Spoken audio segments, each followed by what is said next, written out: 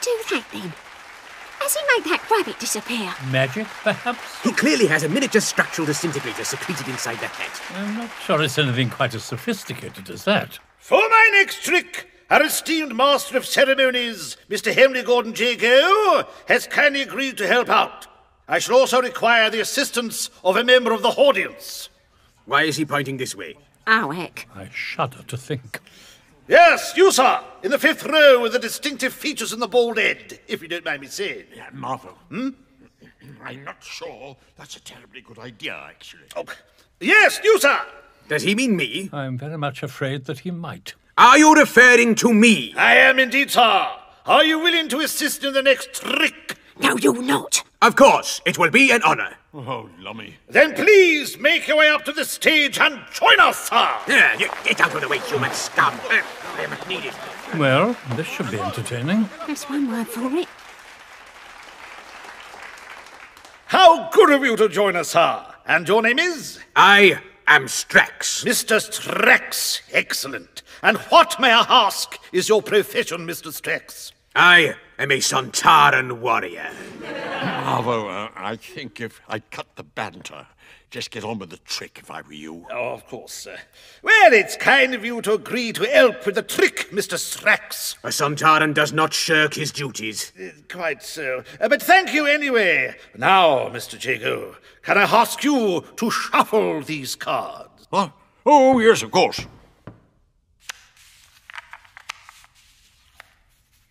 Thank you.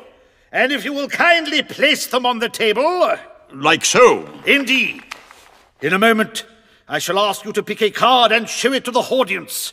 Although neither of us will see the card, with my help, Mr. Strax will identify the card you have chosen. Lord help us.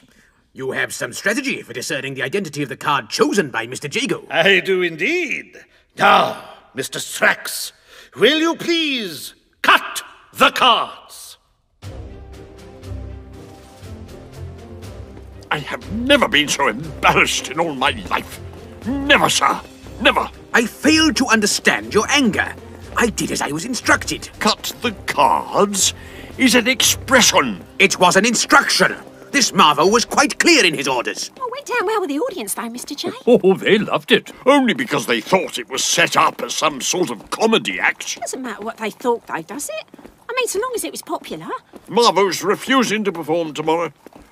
Well, actually, between you and me, that might be a blessing. There was rapturous applause. I suppose so. And I love that stuff with a parrot. Oh, oh, don't remind me. Especially when Strax claimed it was actually a disguised Rutan and tried to interrogate it. The Rutans have considerable expertise in shape-shifting techniques. It was a parrot. Its translation device had clearly developed a malfunction. Hence the creature's continued repetition of the same phrase. Pretty Polly is what parrots say. I am aware of that now. But no one explained this avian eccentricity to me beforehand. It was a parrot. So you say. But can you be certain? Yes, I can. It was a parrot. And you executed it on stage. That woman in the front row will never be the same again. Neither, I fear, will the parrot. Or Marvo's hat.